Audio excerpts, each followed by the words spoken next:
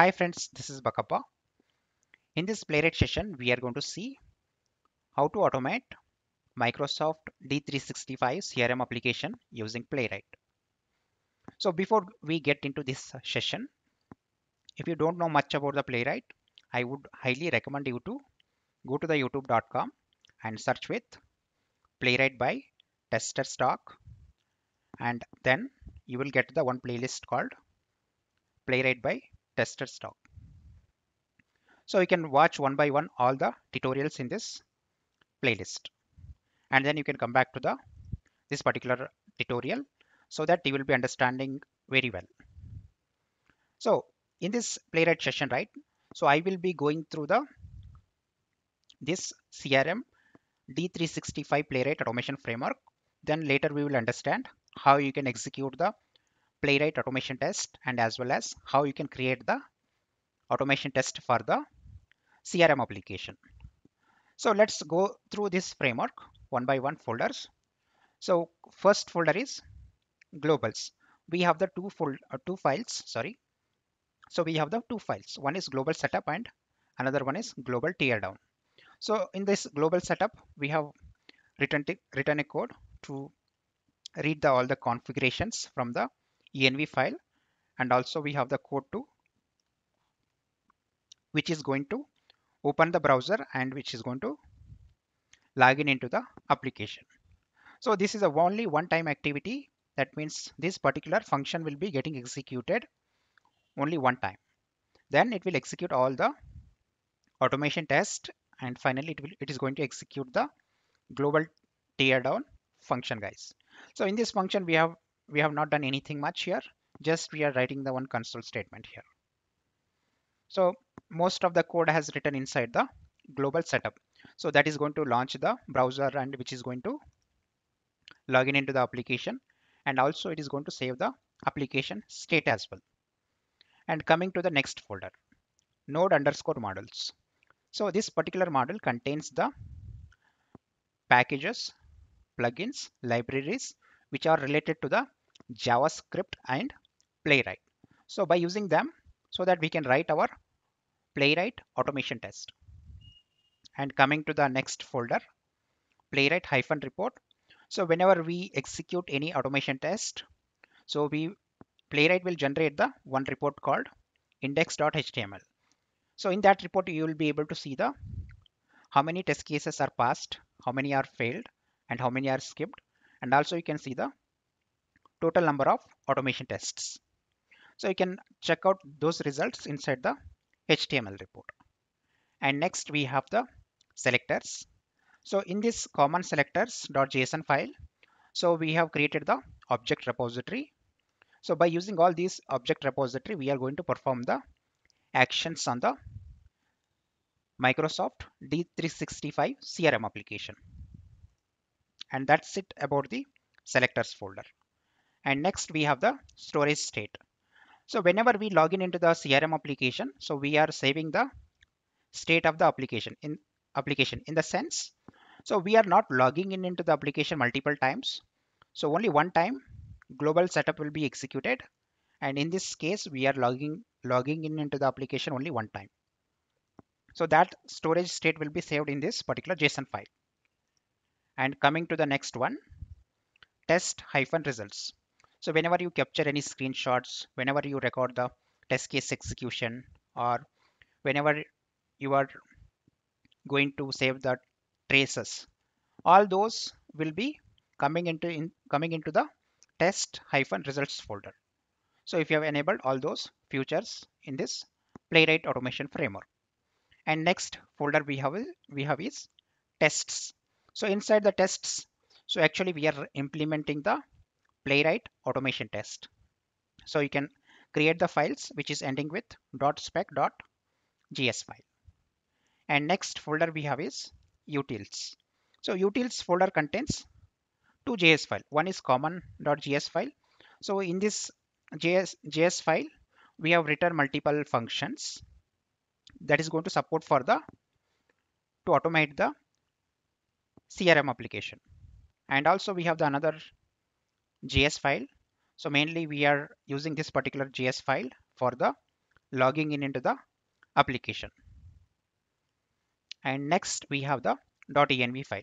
So this is where exactly we are keeping the all the details such as URL, username, password, and what is the app ID.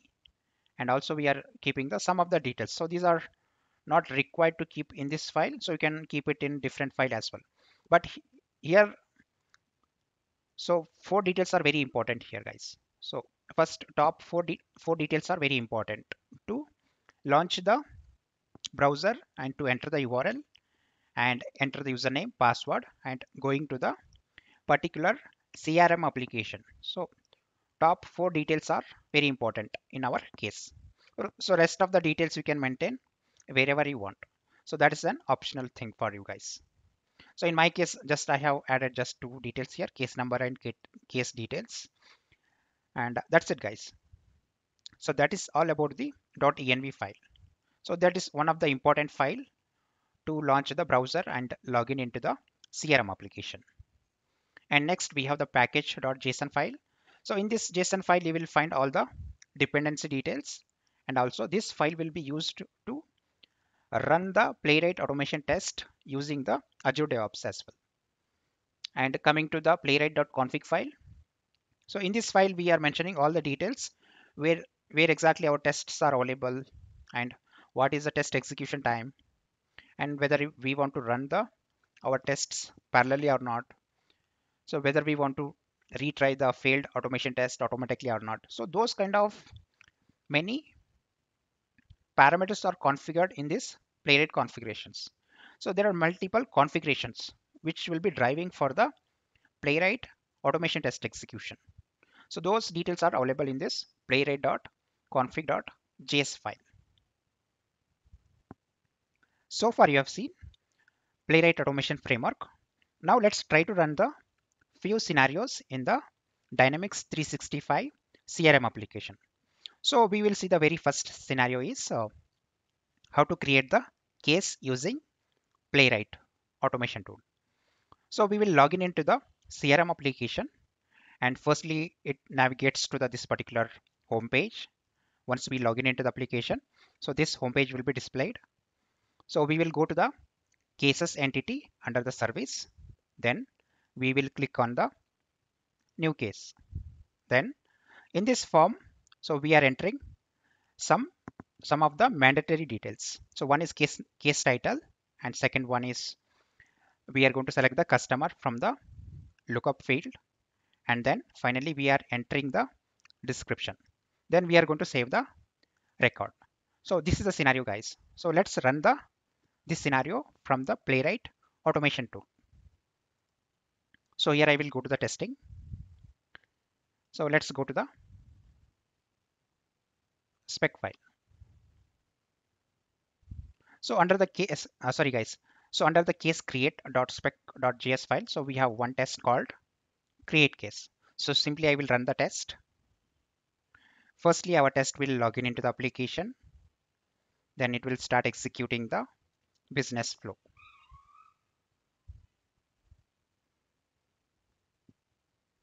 So that's it guys. Login is completed. And now we are going to open the customer service hub.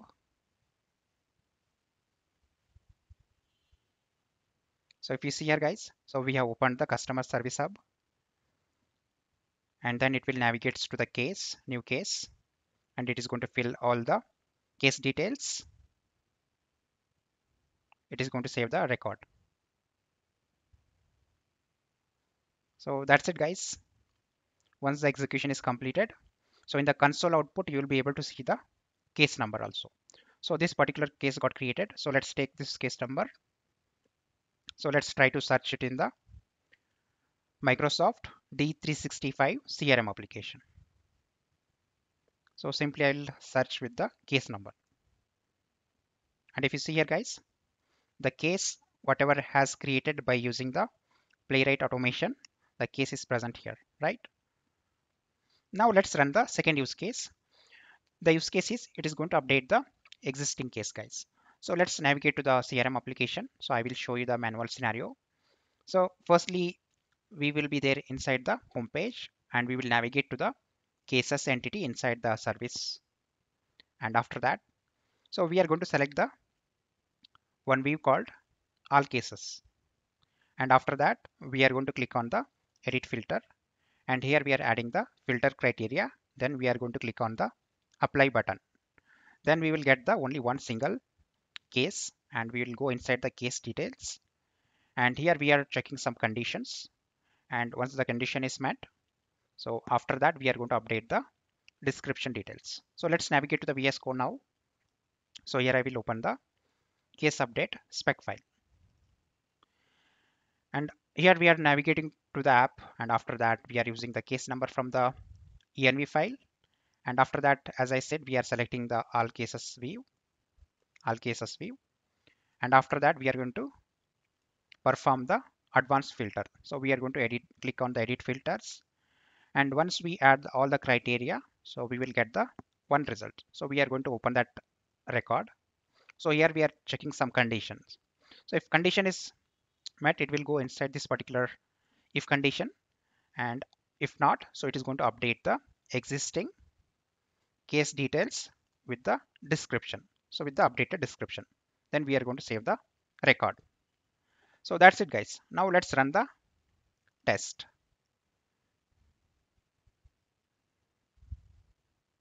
So firstly our test should log in into the crm application. So it is able to enter the username and password. Then it has to navigate to the customer service hub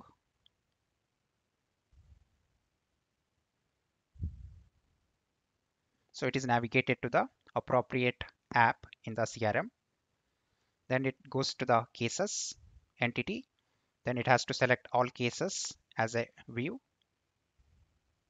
And then we need to add the filter criteria with the case number. Then we got the case. So we are going inside the case details. And at the end we are going to update the description details and also we are going to save the record. And also here you can see that so our test is getting passed. Now let's run the third use case where we are resolving the case. So I will run the test now. So which is, which is going to log in into the application and after that it goes to the appropriate app and it goes to the appropriate entity and it searches for the existing case and then it is going to resolve the case. So now we are navigating into the customer service hub app. Then we navigate it into the entity. So now we have to select the view and we have to put the appropriate filter to get the case.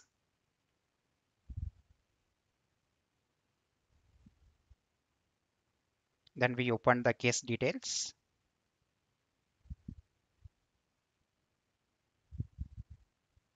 Then we are clicking on the resolve case. And that's it guys. So our test is perfectly working fine. So we are able to create the case and we are also able to update the case and also finally we are resolving the case by using the playwright automation tool